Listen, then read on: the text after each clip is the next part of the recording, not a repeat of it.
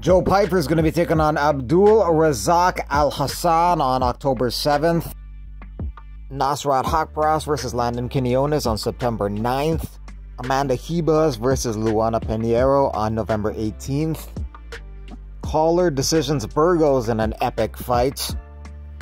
Ashley Evans Smith and Tafon Nchukwi no longer on the UFC roster. Merab Dvalishvili says he's willing to fight Sean O'Malley in December, but that fight's probably going to go to Chito Vera.